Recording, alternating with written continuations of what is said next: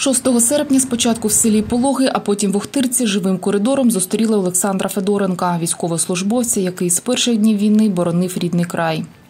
За інформацією заступника начальника Охтирського районного центру комплектування Сергія Грицая, молодший сержант, заступник командира бойової машини, помер 27 липня 2024 року під час виконання службових обов'язків. Місяць тому Віктора Бублика, сусіда і побратима Олександра Федоренка, комісували за віком. Згадує, як пройшли з Олександром бойове хрещення на першій лінії оборони автозаправці в Охтирці, де окопалась 93-я бригада Холодний Яр. У перший день нас ну, десь до десятка чоловік пішли туди. Там на маршалі вже хлопці ждали. Привезли нам оружие, видали все. І в перший день же почали обстріли. Маршал розбили, там хлопців покантузили. Ну, коротше, больницю розбили. Багато хлопців погибло.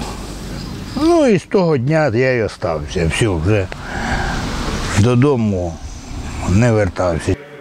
Катерина Мокроусова, староста села, де з 2018 року проживала родина Федоренків, каже, що останній раз Олександр приїжджав близько місяця тому. Мав проблеми зі здоров'ям, але повернувся на фронт. Він е, щирий товариш. З ним, як то кажуть, можна йти в розвідку. Він з великим добрим серцем, мав щиру душу і був справжнім патріотом.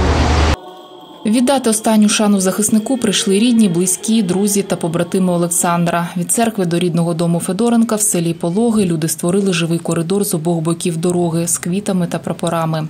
Таким же коридором проводжали героя Охтиркою. Від Успенської церкви до соборного кладовища йшли пішки. Волонтер Ігор Пуринок розповідає про Олександра Федоренка, кума свого батька, раз по раз посміхаючись.